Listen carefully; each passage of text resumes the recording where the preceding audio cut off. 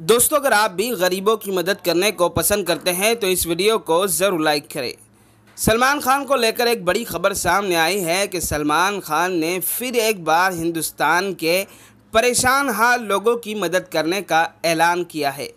आप जानते हैं कि फिल्मी दुनिया के मशहूर अदाकार सलमान खान हमेशा गरीबों की मदद करते हैं और गरीबों की मदद करने से जाने जाते हैं। लेकिन दोस्तों, सलमान खान ने इस बार एक बड़ा ऐलान कर दिया है।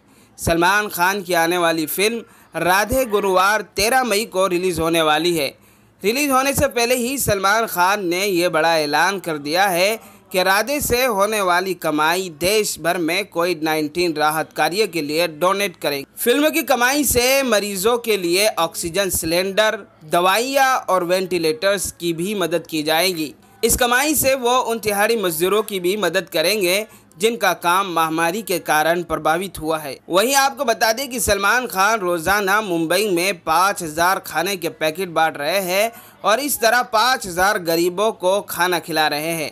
हाल ही में सलमान खान की एक वीडियो भी सामने आई थी जिसमें देखा गया था कि गरीबों के लिए तैयार किया गया खाना सलमान खान खुद खाकर चेक कर रहे हैं कि खाने की क्वालिटी कैसी है, खाना अच्छा है या नहीं।